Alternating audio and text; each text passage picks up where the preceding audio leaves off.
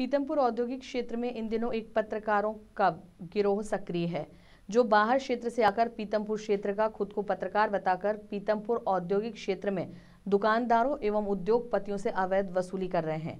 जिसकी सूचना मिलने पर स्थानीय पत्रकारों ने सीएसपी कार्यालय पहुंचकर अज्ञात पत्रकारों के खिलाफ सीएसपी तरुणेंद्र सिंह बघेल को ज्ञापन सौंपा।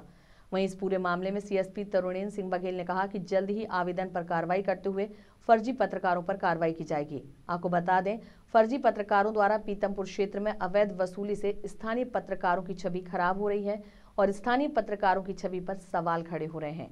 इसी संबंध में पीतमपुर औद्योगिक क्षेत्र के पत्रकारों ने सीएसपी बघेल को ज्ञापन देते हुए उचित कार्रवाई की मांग की है। आज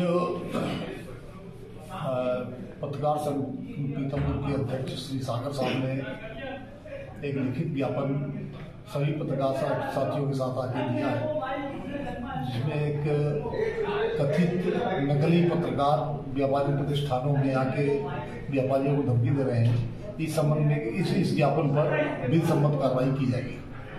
आपका नाम? तरुण सिंह बघेल।